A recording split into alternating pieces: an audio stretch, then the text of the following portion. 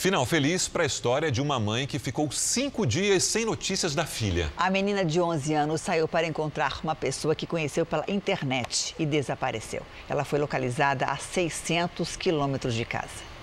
O abraço emocionado é entre mãe e filha. A garota de 11 anos desapareceu no último domingo. É angustiante. Eu, o que eu passei, eu não desejo para nenhuma mãe nenhuma. A família é do interior de Minas Gerais.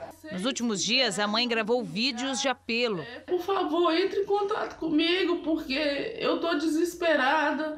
Eu já nem sei mais o que eu vou fazer. E começou a seguir pistas para descobrir o paradeiro da filha. Essas imagens mostram a menina pedindo carona para caminhoneiros.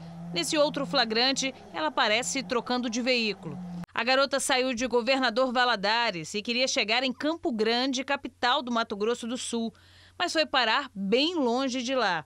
Chegou ao bairro de Campo Grande, na cidade do Rio de Janeiro. Aqui passou os dias nessa estação de ônibus, ao lado de moradores de rua. E foi um deles que chamou a polícia. Chamei pelo nome dela, ela começou a chorar, entendeu?